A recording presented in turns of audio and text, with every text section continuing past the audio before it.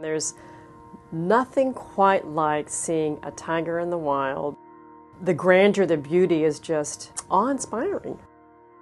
When you think about that animal being reduced to a rug, for me, it just galvanizes me to want to do more um, to protect that, that magnificent animal in the wild.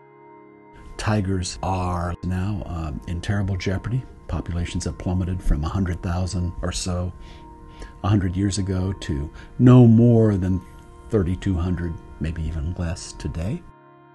Right across the whole range from, from Sumatra up to Siberia. We've had massive population crashes and we're down to these critically low numbers. The core populations are, seem, are, are slowly getting wiped out. Like, for example, we had Suklaphanta, which was the highest density of tigers recorded anywhere. Today we have six, seven tigers left. We simply don't have the enough resources on the ground at this point in time to keep them secure. We're still losing tigers every day. Three subspecies of tigers have already disappeared. We don't want that to happen to the remaining tiger subspecies. By far the largest threat facing tigers is poaching. In some places, um, they are shot, in others, they're snared, in others, they're poisoned. But the, the poaching really is rife across the whole range once the tiger was poached, every part of the tiger is taken away by the poachers, and you can hardly find a trace. Basically, for wildlife criminals, the tiger is worth more dead than alive, broken down into all its body parts, packaged, shipped, and sold into different component commodities. Uh, almost every part of the tiger has a use in either traditional medicine or folk beliefs. Um, you know, I've met people who believe that the skin has magical properties. You can wrap it around a sick person, it'll heal them. Obviously, there's the ornamental uses of skins. Tiger bone is believed to have um, medicinal properties. Even the whiskers, in some cases, are used. And tiger meat is also uh, eaten. So, unfortunately, um, a lot of these old beliefs have now coupled up with new money, uh, and that's a disastrous equation for tigers. The drivers are definitely coming from uh, numerous places. The magical issues around tigers is found in Sumatra. The the pelt issue is primarily in Tibet.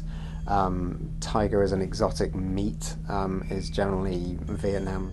The the tonic issue um, is primarily China. And the US is one of the largest consumers of wildlife products anywhere in the world. Um, so there are always um, issues in the US. It certainly is affecting the U.S. Americans import these things illegally.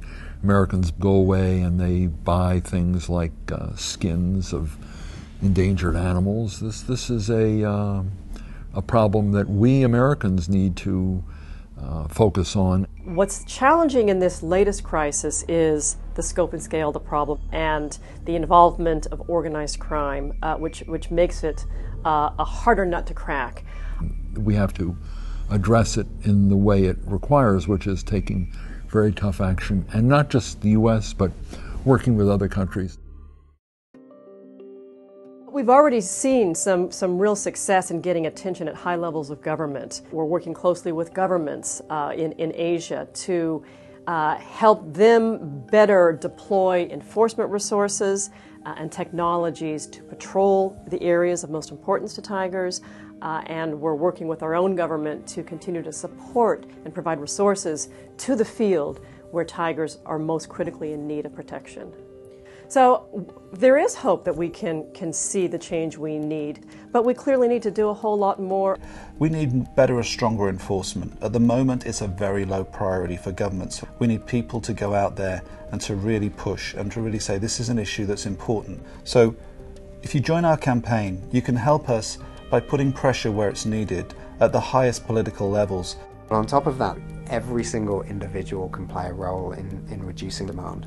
If you ever have a conversation with your friends or you ever hear of anybody interested in buying Tiger products, have a very strong message to everyone you meet that, that buying Tiger products is unacceptable.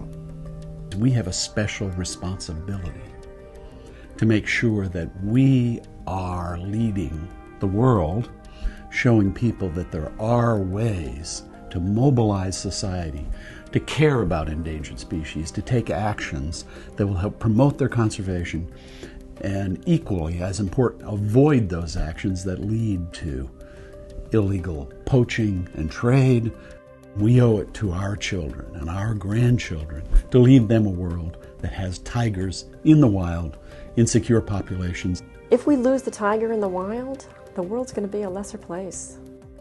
To me, the definition of humanity is partly measured by how we treat our fellow species on the planet. We have the, the power and the resources to conserve tigers forever. The question is, do we have the will? And if we do not have that will, I really think we've lost part of our humanity.